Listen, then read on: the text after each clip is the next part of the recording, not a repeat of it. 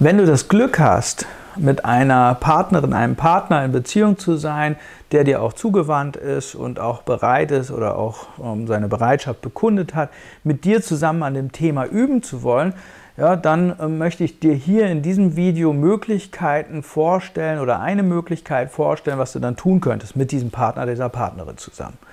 Wenn dich das interessiert, bleib dran, weil ich möchte dann dir auch hier konkrete Ideen geben, auch äh, wie du mit deiner Partnerin kommunizieren kannst und was du tun kannst, um quasi auch deine Erektionsprobleme, deine erektile Dysfunktion durch ein entsprechendes Übungsprogramm zu überwinden.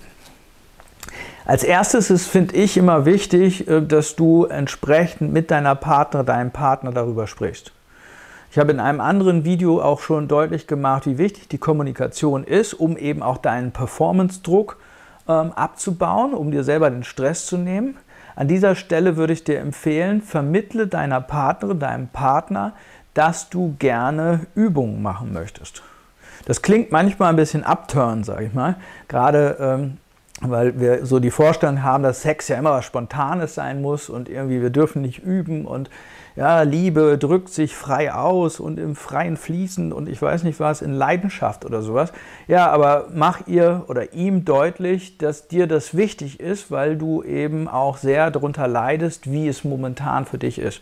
Ja, dass du vielleicht auch dich irgendwo eingeschränkt fühlst, dass du darunter leidest, dass du eben nicht richtig irrigieren kannst und dass du gerne andere Wege einschlagen möchtest und ähm, vielleicht auch dir wünschen würdest oder dass du dir wünschen würdest, dass dein Partner, deine Partnerin dabei ist, dich unterstützt. Ja? Und nicht nur das, das kann ich dir schon so am Rande mitteilen. Ähm, wenn du dir zum Beispiel das Video mit deiner Partnerin, deinem Partner zusammen angucken solltest, ja, ist mir nochmal wichtig, beide werden davon profitieren. Das ist jetzt nicht eine Übung wie, keine Ahnung, ähm, äh, die nur einer Person da irgendwie hilft und die andere ist so Erfüllungsgehilfe oder Dienstleister. Nein, ähm, äh, gerade die sexualtherapeutischen Methoden und Übungen haben in der Regel für beide ähm, ja, großes Entwicklungspotenzial, weil beide da auch neue Ebenen in sich entdecken können, ja, völlig neue Facetten, auch sexuelle Facetten entdecken können und eure Beziehung dadurch auch sich enorm vertiefen und bereichert werden kann. Ähm, also frag deine Partnerin, frag deinen Partner, vermittel am besten, äh, dass es dir wichtig ist, auch dass äh, es Dinge sein sollen, die euch beiden Spaß machen, die euch beiden halt neue Facetten ver vermitteln oder eröffnen werden.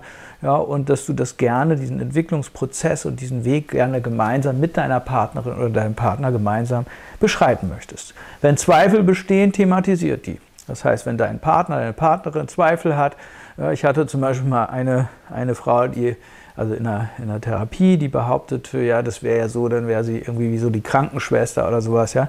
Ähm, wenn sowas der Fall ist, thematisiert das. Darum geht es natürlich nicht, ja, dass jemand hier jetzt irgendwie der reine Helfer ist, sondern beide werden davon profitieren. So, was kann ich empfehlen? Ich würde empfehlen, dass du zunächst mit deiner Partnerin, deinem Partner darüber sprichst, was der Punkt ist, der dir die größten Sorgen bereitet. Ja? Für viele Männer ist es das Eindringen zum Beispiel. Ja, andere haben vielleicht so äh, bestimmte Stellungen im Fokus und sagen, Mensch, ja, die Lieblingsstellung meiner Partnerin ist meinetwegen, keine Ahnung, Missionarsstellung, das macht mir große Probleme, weil dann gucke ich hier immer in die Augen oder irgend sowas. Das heißt, sprich am besten erstmal darüber, was dir große Sorgen bereitet.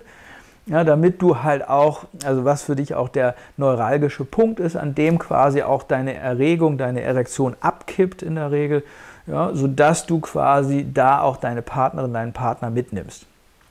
Ich würde euch dann empfehlen, äh, mal das klassische äh, sexualtherapeutische Programm auszuprobieren, das auch äh, Sensate Focus heißt. Sensate Focus geht zurück auf Masters und Johnson. Masters und Johnson sind so die Pioniere der modernen Sexualtherapie, könnte man sagen, 1955 bis ungefähr 19 äh, bis Mitte der 80er Jahre geforscht haben die beiden in Amerika und ähm, die haben ein schrittweises Übungsprogramm entwickelt. Und dieses schrittweise Übungsprogramm hat die Idee, dass quasi du Angst und ähm, äh, Druck überwindest, indem du dich ganz langsam von, zu, von Stufe zu Stufe über ein Commitment äh, von Stufe zu Stufe hochhangelst quasi. Ja? Und Sensate Focus beginnt sehr einfach mit Streicheln. Das bedeutet, in der ersten Phase habt ihr beide Unterwäsche an und eine Person streichelt die andere Person. Ja, nach 15 Minuten, ich würde euch empfehlen, mit 15 Minuten zu beginnen ähm, und ähm, danach zu wechseln. Ja, guckt vielleicht auch, dass ihr nicht am gleichen Tag wechselt am Anfang, sondern das vielleicht äh, aufteilt in zwei Phasen. Und dann beginnst du zum Beispiel deine Partnerin zu streicheln. Dann ist danach Pause, hätte ich fast gesagt. Ja, dann, dann ähm, tauscht ihr euch aus, auch darüber, über welche Erfahrungen ihr gemacht habt. Und dann wechselt ihr die Rollen.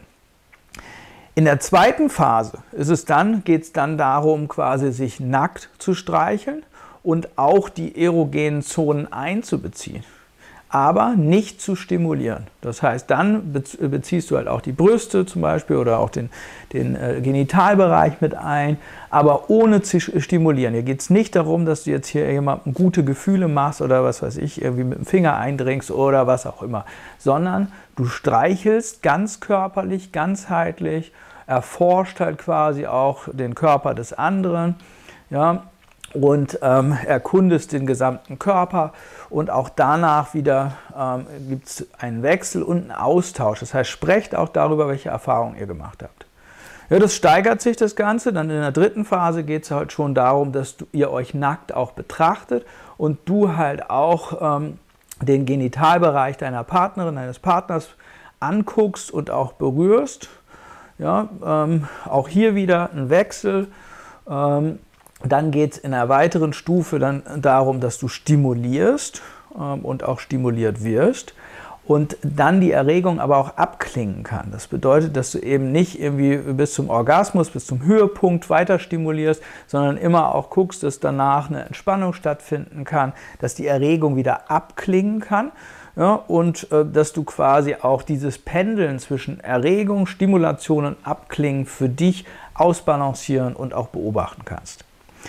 So, danach geht es in der nächsten Phase ähm, darum, dass dein Partner, deine Partnerin ähm, auch den Schwanz führt, deinen Schwanz führt, wenn du quasi erregt bist und auch wenn du nicht erregt bist und den entweder einführt, ja, ohne Druck, auch hier wieder, weil das ist eh die Grundlage dieses Trainingsprogramms, dass ihr erst dann auf eine andere Stufe geht, auf die höhere Stufe geht, wenn ihr das Gefühl habt, ähm, dass, auf der, dass ihr diese, diese Stufe, die ihr bisher durchgeführt habt, stressfrei bewältigen könnt. Also wenn du jetzt merkst, okay, das wird mir jetzt totalen Stress machen, keine Sorge, ihr einigt euch jeweils im Gespräch darauf, ob ihr die nächste Stufe äh, erreichen oder eingehen wollt oder ob ihr das erstmal so lassen wollt, wie es momentan ist.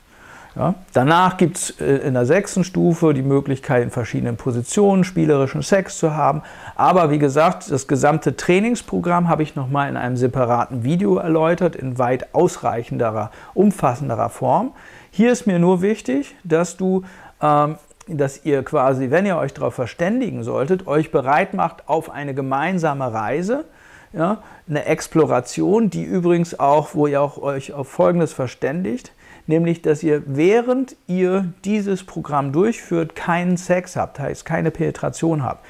Weil damit nehmen wir nämlich den Druck raus und, und ihr könnt nämlich dann auf eine neue Ebene ja, eure erotischen Spiele halt auch auf eine neue Ebene bringen, indem ihr euch exploriert, euch erforschen könnt, ohne den Druck, dass irgendwie danach was passieren muss. Ja? Einigt euch auf eine Art von Sexlosigkeit in der Zeit und sprecht immer auch über eure persönlichen Erfahrungen während dieses Trainingsprozesses.